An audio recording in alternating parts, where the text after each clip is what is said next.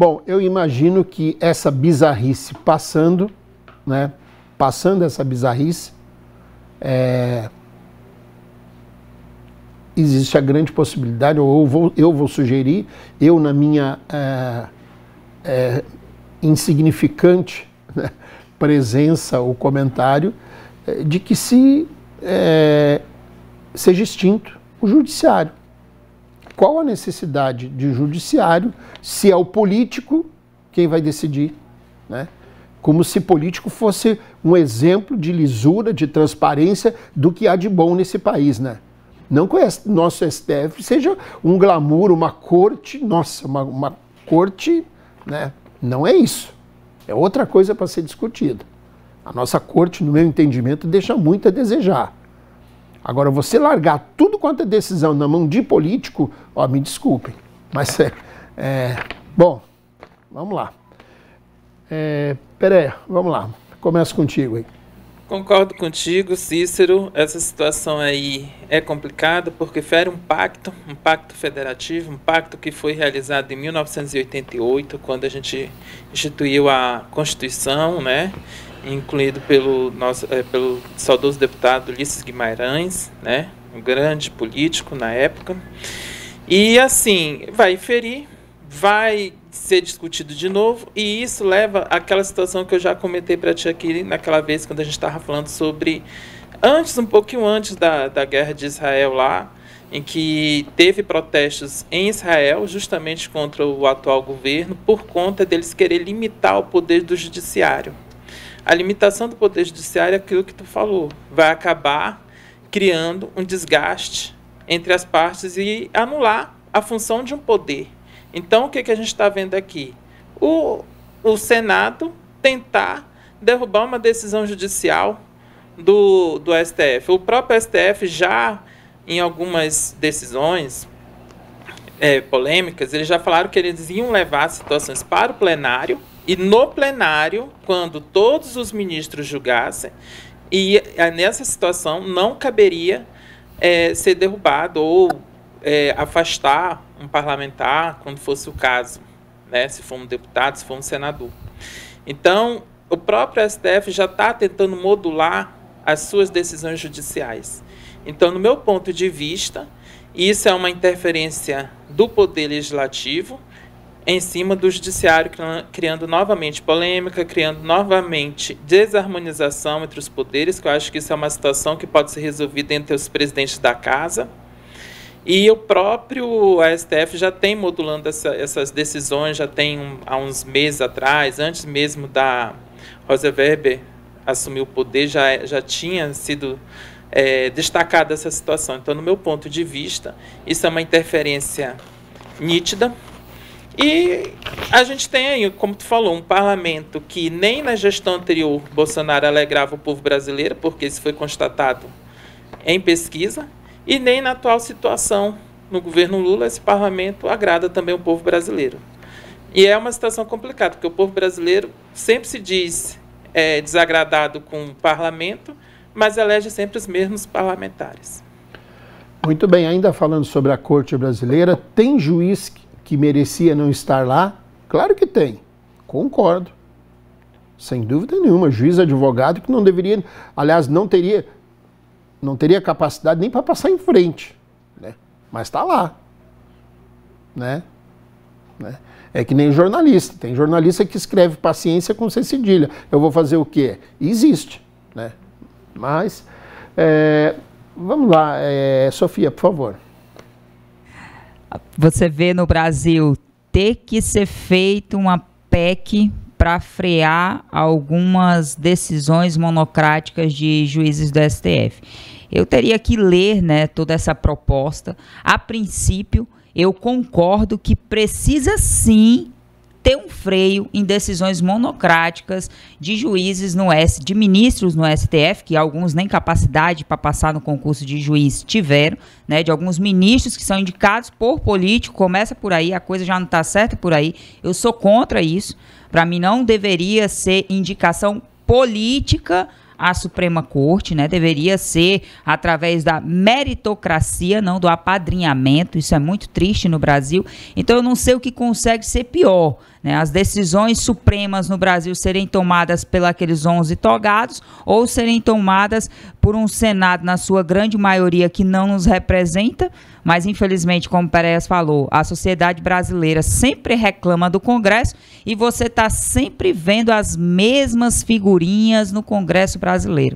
Então, assim, que haja sim um freio ao STF mas a gente tem que ter muito cuidado, porque ou a gente está pondo raposa com toga ou a gente está pondo raposa sem toga para cuidar desse grande galinheiro que virou o Brasil. É triste.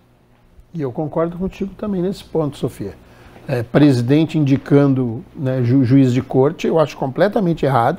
Teria que ser isso mesmo, merecimento e com prazo de atuação também, isso não pode ser ad eterno, entendeu? não pode ser vitalício, e com possibilidade também de questionamento por ser um juiz, não quer dizer que seja dono da verdade. Não quer dizer que seja o, o, dono Cícero, da verdade. É, que me espanta que o Brasil aceite esse absurdo. Nós temos hoje, né, o juiz, vou, vou, dar um exemplo aqui. Nós temos o juiz Alexandre de Moraes, que não vou entrar no mérito do que ele tem feito ou deixar de fazer.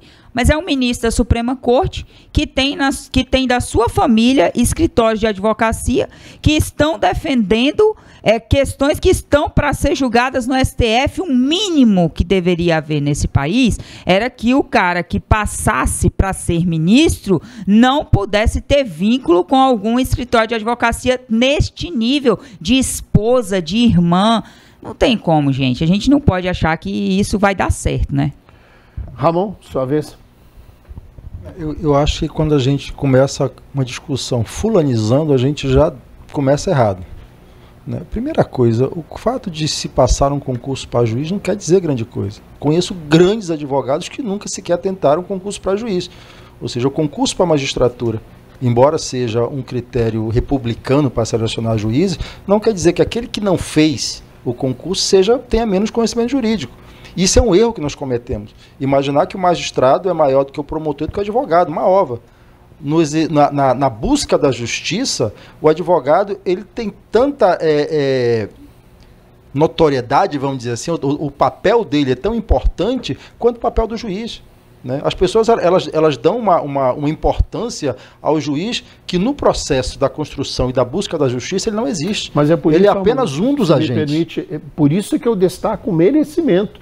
Não é questão de um concurso é um merecimento, o histórico, né, para você chegar à maior corte do país. Pois é, mas é, vamos, vamos, colocar outra coisa. Em todas as cortes constitucionais do mundo, né, e justamente para fazer o equilíbrio, o poder executivo indica e o poder legislativo aprova. Porque para um camarada ser juiz da Suprema Corte, ele passa pelo crivo dos dois outros poderes. Ele precisa que o presidente o indique, só que o presidente não nomeia. Porque esse Senado que hoje está querendo fazer uma PEC que estupra a Constituição, é dele o poder de não deixar um cara virar ministro. Então já há um sistema de freios aí. Não é uma coisa solta. Às vezes a gente fala as coisas aqui sem ter noção da estrutura de funcionamento. Ou seja, para o cara ser ministro supremo, precisa que o presidente, que é o chefe do Poder Executivo, o indique. Mas a indicação do presidente não garante que ele vá ser ministro. Precisa do quê? Do Senado Federal o aprove por maioria. E o Senado Federal tem aprovado. Então vamos colocar um, um, um pouco de água aí para entender o que está acontecendo. Entendeu? Não é assim. E assim funciona em todas as cortes do mundo. Nós comemoramos esse ano 35 anos de Constituição Federal. São 35 anos da estabilidade democrática no país. É o maior período de estabilidade democrática da história republicana brasileira. Porque nesse momento né, se questiona a, o, o, poder, o poder judiciário se questiona a estrutura do STF. Qual é a razão? Os STF anteriores não eram tão ruins ou, ou tão bons quanto esse? Conversa. A gente precisa parar de fulanizar e olhar a estrutura. Né? Ora, nós temos nesse momento no Brasil, porque qual é a grande causa né, do, do, do, do, legislativo, no caso o, o, Senado, ter se alvorado contra o Supremo Tribunal Federal? Não é a questão da droga, não é a questão do aborto, que eles estão dizendo, ah, porque estão discutindo. Não, não é. É a questão do marco temporal. Porque na discussão do marco temporal nós estamos falando de interesses do poder econômico. Né? E o Supremo Tribunal Federal, agindo de maneira contra-hegemônica, ele decidiu que os indígenas brasileiros têm o direito de existir. Exatamente isso. Os povos indígenas, os povos originários têm direito à existência. É isso que o Supremo Tribunal Federal decidiu. E eu vou repetir novamente. Maiorias políticas, né, sem freio constitucional, elas tendem ao arbítrio, elas tendem ao, ao despotismo. Né? O, que o, o que o Congresso propõe hoje, o que o Senado propõe hoje, para retirar poderes do Supremo Tribunal Federal, para ele decidir o que é bom ou não, o que é justo ou não justo, é um ato de força política, né? é um ato de violência política institucional. Porque o que está em jogo nesse momento é exatamente a questão dos interesses dos poderosos desse país. É por isso que o Senado resolveu afrontar o Supremo Tribunal Federal com essa PEC, que é uma PEC que não ataca o Supremo, ao contrário, é uma PEC que estupra a Constituição. É um ato de violência política, é o que nós estamos assistindo, depois de 35 anos de estabilidade da Constituição de 88. Então nós precisamos estar atentos a esses movimentos, né? porque se nós permitirmos que esse tipo de coisa aconteça, aí no final da matéria diz assim, né? porque os, os, os senadores vão decidir quais são os limites da Constituição. Ora, a, a, a, Constituição brasileira definiu que quem define quais são os limites é o Supremo Tribunal Federal. Isso é uma captura né, de competência. E eu digo a todos aqueles que estão me ouvindo: se nós permitirmos que esse tipo de coisa aconteça, se nós não discutirmos isso de maneira muito clara, nós não temos noção da escuridão que se aproxima. Porque maiorias políticas, eu volto a repetir, sem freios institucionais, tendem à força, tendem à violência, tendem à ditadura. E isso vale para todos os lados. É, Chicolando, por favor. É, infelizmente, infelizmente, isso está acontecendo no Brasil. Mas sabe quem é o culpado, minha senhora e senhor? Há quatro anos, quatro anos, que um poder tentou virar totalitário. Tomar decisões dentro do executivo, tomar decisões dentro do legislativo, ou seja, ministro querendo ser político, ser senador sem ser eleito, ministro querendo ser presidente sem ter sido eleito, fez com que, e um, e um Senado, um Senado, os senadores, devendo muitos deles, sem coragem de fazer o seu devido papel. O STF está estrupando, rasgando a nossa Constituição Federal, tomando posições que não era da sua autonomia constitucional, conforme prevê a nossa Carta Magna. Tá? Fazendo agora com que o Senado um tempo dormindo, Pacheco principalmente, deixando de ser estupado, quando viu agora um STF dizendo que você não tem mais direito à sua propriedade, qualquer propriedade você pode ser invadida. Isso o STF definiu. Agora, as áreas indígenas. Daqui a pouco a metade do Brasil voltaria a ser área indígena. Com 1.500 índios, um milhão que tem no Brasil. Tá? É, daqui a pouco eles iam dizer que você não poderia andar mais com a Bíblia. Está no caminho da maneira que estava indo, você era um totalitarismo do judiciário, mas em especial do STF, que queria mandar e desmandar em todos os poderes do país. Se eles querem mandar, se eles querem tomar decisão no legislativo, vá se candidatar. Se quer tomar posição no executivo, seja candidato a presidente, seja candidato a governadores, mas não fazer o que está fazendo. E aí o nosso Senado, dormindo que estava, Agora parece que acordou, porque a nossa população, há anos atrás, um, dois, três anos atrás, mais de 2 milhões de assinatura pedindo o impeachment do Alexandre Moraes. Sequer, sequer foi lido. Sequer foi na, foi na pauta. Ou seja, foi engavetado. Então, e agora eles querem vingança. Parece aquela briga de, de, de barrigudo. Que agora, agora é minha vez. Agora eu vou entender. Que também está errado. Quem é que engavetou, Chico? Isso aí? Isso aí tá, tá do Pacheco. Do Pacheco, não, não. antes do Pacheco. O Pacheco não era nada três anos atrás. Não, era, era o. Não, não. É do Senado, só que pode ser do Senado. É o Columbre. Tá, mas Columbre. E, e, e, que governo que era? Quem é que tinha a maioria? Sim, mas hoje e, a, coisa, Câmara, coisa, a Câmara e o Senado, o presidente, o presidente tem o poder de pôr ou não. Isso ou do PT, ou do, da direita da esquerda, e isso hoje é assim que funciona. No Brasil todo, tanto nas câmaras de deputados, na Câmara Federal, no Senado Federal, o presidente tem esse poder de engavetar. Ou seja, eu lembro que para ser votado, o ministro que o Bolsonaro indicou, eu Columbo segurou ali uns três meses. Agora você viu, quando foi votar agora o, o, o, o ministro que entrou por último agora, foi igual, quase igual aqui, foi votado aqui na, é. na, na, Assembleia Legislativa aqui, o ICMS. E aí como é que você explica isso, né, Chico? O, o Bolsonaro presidente com maioria, né, com maioria no Congresso, e não foi votado. Não, a maioria não e tinha. Outra... A maioria não tinha. O, não tinha. Eu, o Bolsonaro foi eleito sozinho, sem nenhuma coligação. O Bolsonaro foi eleito, tá, só com o partido dele, tá, e não tinha maioria. Tá. Você maioria você tem que ter pelo menos 280, 290 deputados federais. Ele não tinha isso. Mas ele, ele, não, ele nem tinha maioria no primeiro mandato e agora nesse que o pessoal acreditava que, que né, o, o acordo, continua um sem. traidores. O acordo com é. o Centrão deu a ele a mesma coisa do PT agora. Fazer. Não, a mesma coisa. Exato. A mesma coisa. Só que, é assim, o pessoal que vende, mas não entrega. anos para trás. Exato. Isso, isso, não é de quatro anos, Chico. Isso é, de, é bem atrás. Se a não, gente começar a pontuar. Não, não. Ah, esse, esse o, o, o, ah, os desmandos ah, da STF, não, desmando faz agora... tempo. Mas vem, ele vem se aprimorando e vem piorando. Ah, bom, então na, tá. Na verdade, e vem piorando. Na verdade, a fala do Chico ela é muito esclarecedora. É porque todo mundo Chico que o, sabe que o Chico é um homem que fala não por ele, ele fala por organizações empresariais. Ele é um empresário de sucesso e ele fala pelo poder econômico local. Entendeu? Quando ele faz a crítica ao STF, é uma crítica de classe porque a classe do dinheiro é a classe que está descontente com as decisões do STF. E é por isso que, nesse momento, o poder econômico se movimenta pelo Congresso, através do, do, do, do Senado Federal, para impor limites ao STF, que impôs limites ao poder econômico de explorar o nosso país de maneira completamente absurda. É isso. E quem foi, então, que fez para que os ministros viessem dizer você não é mais proprietário, qualquer pessoa invadir? Isso foi as organizações criminosas, isso foi MST, é esse tipo de, de, de, que fizeram com que os ministros tomassem uma posição dessa? Não, deixa eu... Você está me falando que isso aí não, não, é por é, causa Você está errado, Chico. E agora o STF tomar a decisão. Olha, você não tem mais direito à propriedade. Não, Chico, não é não. É, não, é Chico. Não, Chico, sabe, eu, eu vou explicar. A minha propriedade não, eu vou explicar, Eu vou lhe explicar, Chico, eu vou lhe explicar. Eu vou lhe explicar. Essa lei, que você, isso que está dizendo aí, é um grande equívoco. Porque o Supremo não disse isso.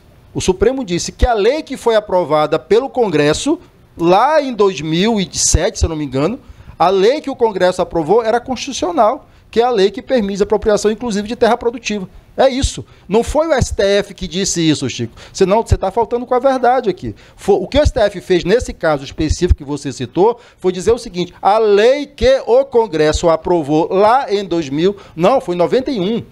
91, 93. A lei que o Congresso aprovou é constitucional, que é a lei que, é a lei que trata da reforma agrária. O, o, STF não inventou nada, foi o próprio Congresso que fez a lei e a única coisa que o, que o STF fez foi dizer que era constitucional. Ou seja, o Congresso, nesse caso específico que você está falando aí, né, o, o, que o STF fez foi referendar uma não, decisão então do Congresso. Então, é errado. a nossa é Constituição Federal, ela diz que existe a propriedade. Mas, meu, que, mas então, Chico, essa lei mas, é Chico, é constitucional. Não, Chico, por que, que o STF, Chico, então, Chico, não tornou Chico, constitucional? Chico, não, você, não, é você está entrando... É peso do não, Chico, você está dizendo, você o seguinte, Chico, você, você disse que havia um desrespeito diz... às instituições. No caso que o STF foi, fez, foi homenagear uma decisão do próprio Congresso. Então, ou você ajeita então, isso. Porque a nossa Constituição Federal não, ela aí, dá não, direito Chico, à propriedade. Sabe qual é o problema, você tá Chico? Não, Chico. Tem uma lei do Congresso que disse que pode invadir a o terra. O que eu estou dizendo para você, Chico, o que eu estou dizendo para você, pode invadir a sua o que casa. eu estou dizendo para você é que o Supremo Tribunal Federal, nas suas competências, julgou que o que o, que o legislativo fez era correto. Agora, se o Chico, que não é ministro supremo, diz que é inconstitucional, eu sinto muito lhe avisar não, que você não tem é competência para declarar federal que diz. Meu querido, quem diz o que a Constituição diz é quem tem poder para dizer o que ela diz. Isso no Brasil e no mundo. E é quem, STF, tem, e quem tem poder para isso são as Cortes Supremas. Então, e o STF e por que disse. Que ela então não, ele não corrigiu esse erro ele, do Congresso. Não, mas é você que está dizendo não, que foi é erro. Está escrito na Constituição não, Federal. é você que está dizendo que foi erro, porque não foi, foi. erro. Porque se você ah, lê os votos dos ministros o, e lê. Então, Ô, Chico, dizer, você está questionando. para invasão, você está questionando você uma decisão muito, do Congresso tô, e uma decisão do Supremo. Tô, tô, você está questionando uma decisão de dois poderes constituídos e dizendo que é eles estão rasgando e rasgaram a nossa Constituição Federal de 88. Então, rasgaram. todos concordamos que o que aconteceu com a Dilma não foi um golpe, foi um impeachment dentro da lei, porque o STF chancelou o impeachment da Dilma. Não é não, Ramon? Não é não, porque... Eu, porque não, não, sabe por que... Eu sou, minha senhora, Por que não é não? O que agora eles você, querem me você. você me Agora. perguntou e eu lhe explico, nos termos da Constituição. A Constituição Quem está. é você eu vou lhe explicar a Constituição? eu É o STF explicar, que faz lhe isso. Agora a explicar, Constituição agora eu vou lhe vale. explicar, Olha só, Agora ele agora pode a explicar, Constituição eu vou lhe vale. explicar. O eu ministro vou lhe STF explicar, não pode Eu vou mais. lhe explicar, eu vou lhe explicar nos seguintes termos. A Constituição exige maioria e exige crime de responsabilidade. O próprio Poder Judiciário, nesse momento, tanto o TRF1 quanto o TRF4 dizem que não existiu crime de responsabilidade. Na ausência de crime de responsabilidade, de responsabilidade, o impeachment nada mais é do que um ato de força, do que uma violência política, O um golpe de o- Estado o definido TRF1 pela ciência e o política. 4 estão acima do STF, então? Porque foi o ministro do STF que tomou a a posição. Não, quem tomou a decisão foi o, foi, o- foi, o- foi o, o Senado, Chico. Quem julga é o Senado. E quem O ministro só preside, preside- E ele não tem poder de voto. Tem, tem, não, tanto é a, a função, a- a a função Dilma- dele. ele Não, suspendeu a Dilma não, não foi não, não Chico. ficar inelegível, Você o está equivocado. O- não, tô não, não, foi ele que o- decidiu, foi não. o ministro. O Senado Foi votou. O, ministro. O Votou, Senado votou. E o ministro tirou ela Não, fora o de não Senado- ficar inelegível. é Você está equivocado. é Você está golpe. Vocês equivocado. dar golpe novamente. Não, você está equivocado, você está equivocado. O- o- a proposta foi colocada e o Senado é que votou. O, Supremo, o ministro do Supremo Tribunal Federal, quando ele está à frente do processo de impeachment no Senado, ele não vota. Ele é um mero coordenador processual. Tanto o voto para tirar os direitos políticos de Dilma foi votado pelos senadores, quanto o golpe foi chancelado por eles, Chico. Aprenda. Muito bem. Alô, Zezinho. Estamos aqui falando de Dilma Rousseff, que você ama. Está fal- faltando você aqui no debate, né? O- Dilma Rousseff entrou na, na conversa, faltou o Zezinho, né? Que, que brilha os olhinhos a hora que fala da gloriosa ex-presidente. O Zezinho tem uma Dilma foto da Dilma Rousseff na Vana carteira Rousseff. dele. Hã? O Zezinho tem uma foto da Dilma na carteira dele. Você pode esperar. Não, uma mulher bonita daquela e tem uma foto da Dilma é doido. Vamos internar o Zezinho.